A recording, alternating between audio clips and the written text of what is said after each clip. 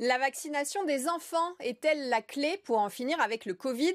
Pour l'instant, les vaccins ne sont pas recommandés aux moins de 16 ans, mais des scientifiques y pensent déjà et des essais sont même en cours. Anthony Fauci, le monsieur Covid de la Maison Blanche aux États-Unis, envisage même la vaccination des plus jeunes dès l'an prochain.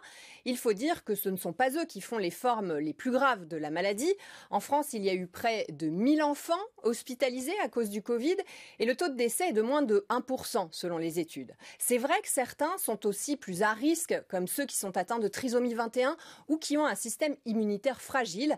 D'ailleurs, Israël a décidé de les vacciner. Les vaccins dont nous disposons à l'heure actuelle n'avaient pas de mineurs dans leur première cohorte d'essais cliniques, mais l'université d'Oxford a lancé le mois dernier un test auprès de 300 volontaires âgés de 6 à 17 ans du vaccin AstraZeneca. Pfizer et Moderna testent les leurs sur 3000 volontaires de plus de 12 ans depuis 3 mois, et Moderna prévoit même de commencer des essais sur des enfants plus jeunes de 6 mois à 11 ans avant la fin de l'année pour voir si leur vaccin provoque chez eux la même réaction immunitaire que chez les adultes, ce qui n'est pas toujours garanti.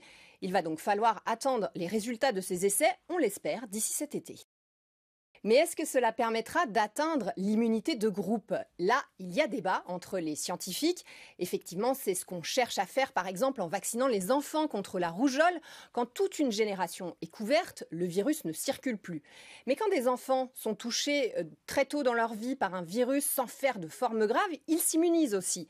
Ainsi, quand ils recroisent une forme proche de ce virus, ils peuvent mieux s'en défendre, même si c'est 60 ans plus tard. Cela pose aussi la question du calcul du bénéfice-risque par rapport à des effets de long terme forcément méconnus des vaccins.